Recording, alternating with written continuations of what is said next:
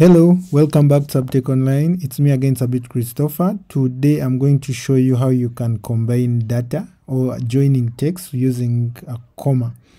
Now here we are going to specifically look at combining the latitude and longitude. As you all know, we always begin with latitude then longitude. When you put this in alphabetic, LA comes first and LO goes next. So just get it like that. Now, if you are to combine these two, in case you want to run this directly on a Google map, you use a formula equals to, uh, equals to, click on the latitude, uh, put an ampersand, that is and sign, open quotes, comma, close quotes, and then click on the longitude, enter. So the moment you enter, this is uh, joined, then uh, autofill downwards and there you go. Meet you in the next video. Bye bye